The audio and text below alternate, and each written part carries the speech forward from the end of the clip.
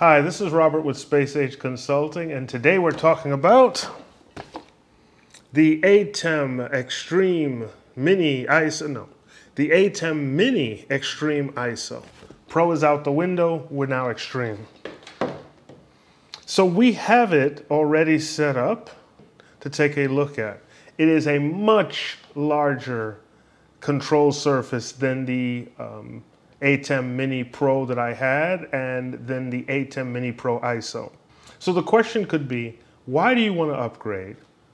What features do you get out of this that you didn't get out of your previous units? And are you so far happy with it? So let's start with what I had purchased before. I did have the ATEM Mini Pro. And then as soon as I bought it, and within a few days, I was even waiting for it to be delivered, they announced the Mini Pro ISO, which I like the features of the ISO. I like the ability to record each camera individually to an SSD. So I went ahead and ordered that as well. And I used it on a couple of events, a couple of shoots, and it turned out there were a couple of bugs let's be honest. There were a couple of problems. Sometimes I would import the ISO files into DaVinci Resolve and it wouldn't quite sync them up properly. Maybe took a couple of tries. But just having those files there, already time stamped, already able to put into a multi-camera setup was great. We even did a cooking show with multiple cameras and it turned out perfect because we didn't have to sync up the video with the audio or time code later. It all just synced up and made the editing easier. But I had a couple of problems with it. For one, it only came with one HDMI port, and for two, it only came with one USB-C port. Why was that a problem? Well, with the one HDMI out, I didn't have the ability to do multi-view, which I'm doing down here, as well as send another um, HDMI signal out to maybe a client or a director's monitor or even to another device to record off of. And with the original ATEM Mini, there was no multi-view out. So that was a no-go. So now this unit has the two HDMI ports out. And as you can see, I'm using both of them. What I've set up is a multi-view screen as well as a playback screen. And that will come in very handy later. The next problems with the single USB-C, that was a real problem. See, I like to record to SSDs, and that's what you would need to be able to record the ISO files. Um, but there are times when I also want to hook up to a computer. And sometimes you need the computer so that you can configure this. There's the idea that you don't need a computer to utilize the ATEM Mini line. Mm, that's not necessarily true. Now you can hook up the network and configure the system using network ports. And that's how I have it set up right now. The problem being sometimes you don't have time to set up a whole separate network. And then if you set up a network and don't have DHCP running, how do you get an IP address to this to configure it? And so you would still need to use a USB-C. But now as you're trying to use it with the USB-C, but still record, there's the problem. So now this unit comes with two USB-C ports. So what we have here, for me, is basically the perfect unit. Now, in all honesty, did I need eight inputs? Mm, not really. But for the price of everything else that I needed, having the eight inputs is actually a bonus. So would I have liked to have an SDI input here? Eh, yeah, sure, because my overhead camera is actually an SDI. And so I have to convert it to come in.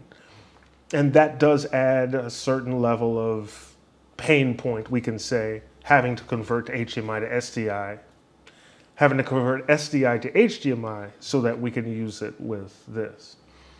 Are HDMI cables great? Eh, not really. But we sometimes have to make these trade offs to make it work well. There's no such thing as the perfect piece of equipment. There's no such thing as the perfect affordable piece of equipment either. So, and at 12.95, this is sort of pushing it. And what I'm going to do is, years ago, I interviewed um, Lumantek about their VS4, and I ended up buying their VS4 and actually doing a review on it. And you can find the review here. I'm going to compare those two units and see which one is easier to just get set up and start running with. But for now, let's go ahead and run through something real quick. I've already had a chance to sort of dive into this. It is familiar to us because we've used the ATEM Mini Pro and the Pro ISO. However, this has a ton more buttons that can do really nice things. Um, one of the great features is the picture in picture, which I haven't quite got set up yet. So what you have is um, you have your background, the picture in picture goes on top, but if you want the picture in picture to be your regular setup, you know what? I'm going to skip that for now. One of the features I think I have the most trouble dealing with is the cut bus, where it's one button press to go from one input to the next. I am used to a professional switcher where you have program and preview. And where that comes in, you can actually adjust that under the ATEM setup under panel settings. You could either do program and preview or cut bus. Right now it's set to cut bus. We'll switch it to program and preview.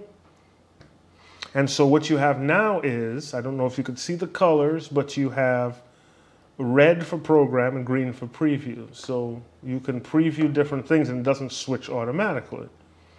And then to switch, you have to hit cut or auto.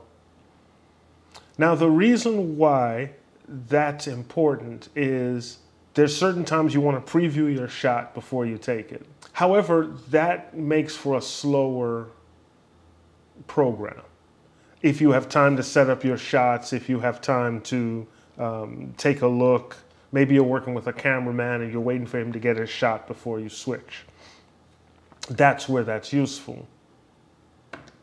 However, when you're doing a one man show, sometimes you just want to be able to switch quickly back to something and you don't want to have to use two hands. Maybe, maybe your hand is doing something else and you don't need to be able to switch immediately. And so at that point, we put it back to cut bus. What I find most interesting is they put it in a weird place. It's not on the regular software control panel, you have to actually go through setup to do it. I know when I originally got the ATEM Mini, it took me a long time to figure out where that was. Um, I had to go through, because it wasn't in the manual per se, but I, it, okay, it was, I just didn't read the manual, but we're not talking about that right now. I am very happy with this unit so far because I can see where it fixes the problems that I had with the um, ATEM Mini Pro ISO. And I really liked that product, but it, the limitations just really held me back. And once they made this announcement, I had to sell the others and go ahead and purchase this. So I'm happy with this so far. I will say you have to also be careful with um, Blackmagic products. When you first get them, test everything test all the buttons, test the inputs. I did update this to the latest firmware as soon as I got it, just to make sure it's not a firmware issue and any of those bugs were taken care of. But um, as much as I love Blackmagic design products and I have them everywhere, test them and test them thoroughly. Test all the inputs, test all the outputs, test all the connections, everything, power supply, whatever. Make sure the unit you have is working to the specifications you need because you don't want to take it out in the field after only using ports one through four, and then you realize ports five through eight don't work. So do your due diligence. Thank you for watching. This is Robert with Space Age. Continue to look out for new videos. I still have a ton of stuff to talk about, so keep checking back with me. Thank you, and here's hoping you see me soon.